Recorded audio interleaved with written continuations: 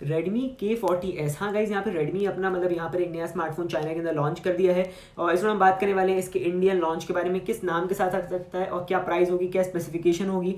तो पूरा वीडियो के जल्दी वो लाइक कर दीजिए। चैनल को सब्सक्राइब करके आप नहीं किया है, आज का वीडियो स्टार्ट करते हैं। प्लीज़ यहाँ पर Redmi K40s जो है ना, एक बहुत ज़्यादा बढ़िया स्मार्टफ़ोन होने वाला है। चलिए, सबसे पहले मैं बात कर लेता हूँ इस फ़ोन की स्पेसिफिकेशन के बाद में बात करेंगे प्राइस एंड लॉन्च डेट के बारे में।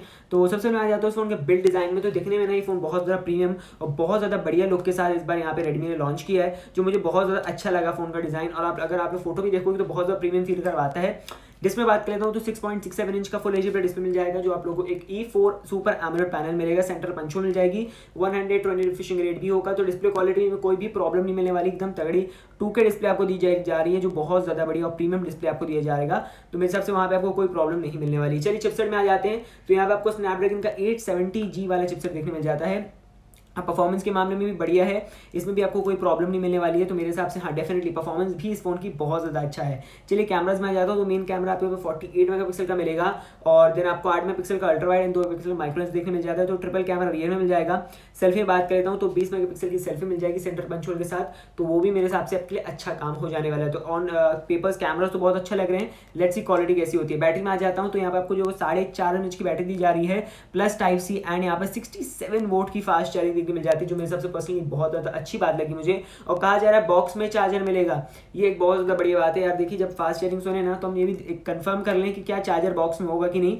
अब इंडिया का तो मुझे नहीं पता बट वहाँ पे तो बॉक्स में आया है। तो हाँ इंडिया में आ जाए तो अच्छा है यार, वरना अभी तो बहुत सारी कंपनीज़ चार्जर से बॉक्स अलग कर रही है भाई मतलब बॉक्स से चार्जर अलग कर रही है। तो ये मुझे अच्छा नहीं लग रहा। है यू बात कर लेता हूँ एंड्रॉइड ट्वेल्व और बॉक्स होगा, यानी आपको म्यू के रन करने वाला है। ये पूरा यहाँ पे गाइज़ रेडमी का के फोर्टी एस डेफिनेटली फ़ोन मुझे बहुत ज़्यादा अच्छा लगा है। फाइनली मैं बात करता हूँ प्राइस एंड लॉन्च के बारे में। चाइना में जो प्राइस इसका लॉन्च हुआ है ना, वो सत्रह नाइन नाइन यूआन मतलब एटीन आप लोग उसको कन्वर्ट करो इंडिया में तो साढ़े इक्कीस हज़ार रुपये करीब होता है। और साढ़े इक्कीस हज़ार रुपये में आपको Snapdragon eight seventy G super AMOLED display forty eight mega camera sixty seven fast charging board fast charging और मेरे हिसाब से इतनी अच्छी चीज़ें मिल रही थी कम प्राइस में। बट इंडिया में डेफिनेटली इतने कम प्राइस के साथ नहीं आएगा। इंडिया के अंदर आराम से पच्चीस हज़ार रुपये के ऊपर जाने वाला है, और अराउंड बोल सकते हैं सत्ताईस, अट्ठाईस हज़ार में इंडिया के अंदर देखने मिल सकता है। तो अगर आप लोग लेना चाह रहे थे या आप लोग इंतज़ार कर रहे थे तो भाई अभी आप लोगों को यहाँ पर थोड़ा इंतज़ार करना पड़ेगा। मुझे लगता है अप्रैल के मंथ अगले महीने आपको इंडिया के अंदर देखने मिल सकता है। बट रेडमी सीरीज़ के नाम से नहीं, हो सकता है पोको एफ़ करके आ जाए। तो अगर आप लोग इंतज़ार कर रहे हो इस फ़ोन के लिए तो मेरे हिसाब से बहुत अच्छा स्मार्टफ़ोन है और बहुत ज़्यादा बढ़िया प्राइस के साथ होने वाला है।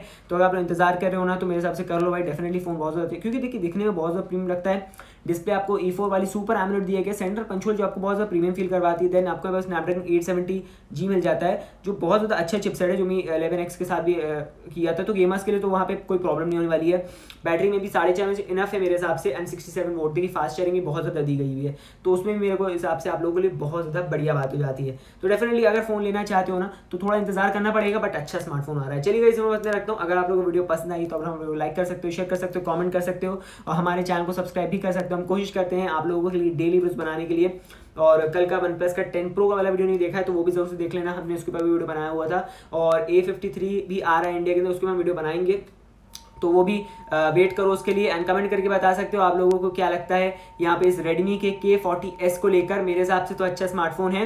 बस अभी हमें थोड़ा इंतज़ार करना पड़ेगा एंड रेडमी अच्छा स्मार्टफ़ोन अच्छे अच्छे काम भी कर रहा है। क्योंकि देखिए इस फ़ोन का प्राइस इसलिए पच्चीस हज़ार रुपये जाने वाला है क्योंकि आप लोग जानते हैं अभी यहाँ पे शाउमी को M I eleven i series है वो भी चल रही है। तो इसलिए इस फ़ोन का जो प्राइस है वो अराउंड पच्चीस हज़ार रुपये के ऊपर मतलब सत्ताईस, अट्ठाईस रुपये में जा सकता है।